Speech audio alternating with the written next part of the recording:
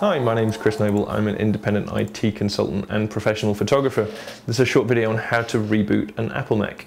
If you're trying to restart a Mac Pro desktop machine, then all you need to do is click the Apple icon in the top left corner and click Restart. It'll ask you if you're sure you wish to restart, click yes and the computer should immediately restart.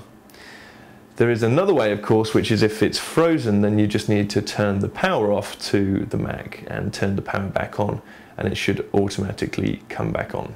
If you want to restart a Mac laptop, then if you press the power button at any time, it'll give you a menu, and that menu should say what do you wish to do, restart, shut down, or go to sleep.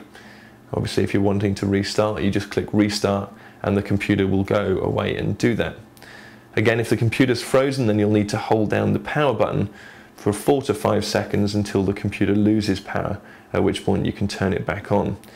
Now, if you're doing that, you needn't be afraid that your file system will become corrupted. There's a very slim chance of that happening on a Mac. On a PC, if you were to do exactly the same thing after a crash, you risk having the computer restart in safe mode or have some critical errors on your computer. That's not the case with Macs. They generally come up 99.9% .9 of the time exactly how they were last time. My name is Chris Noble, thanks for watching this video.